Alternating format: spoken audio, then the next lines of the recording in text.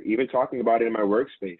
Um, because that was something that did bother me, the kind of the how silent some of my coworkers were when yep. um, all of this was starting. And so, you know, I can't just tell my my manager, hey, can I do a poem for you? Like I have to realize how I can change if if we want to change the world, right? And for you and I, people that have graduated, um, we're in the workspace now, we're in corporate yep. America.